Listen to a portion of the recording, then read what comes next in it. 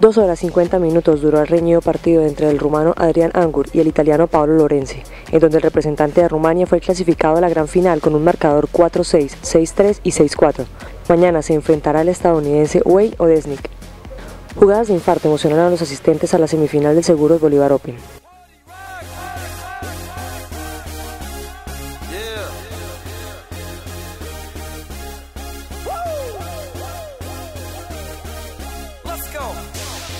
Rock is in the house tonight.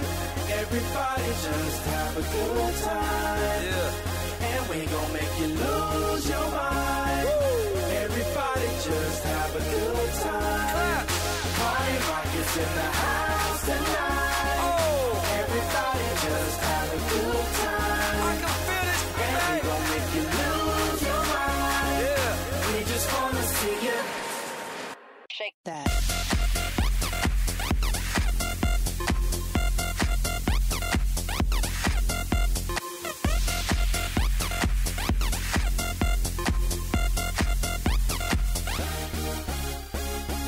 The club, party rock. Looking for your girl, she on me jock, huh?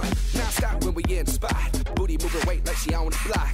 With a drink, I got to know. Top jeans tattoo, cause I'm rock, raw. Half black, half white diamond now. Gang of money, open up. Yeah, I'm running through these halls like Drano. I got that devilish flow, rock and roll,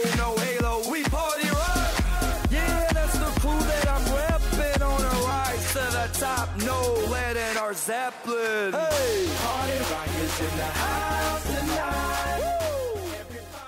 Estas fueron las impresiones sobre el partido que Adrian Ungur compartió con Vanguardia.com. What can I say? It was a very good match. I think I knew it's going to be complicated because Lorenz is a very good player, it's, uh, especially on, on clay.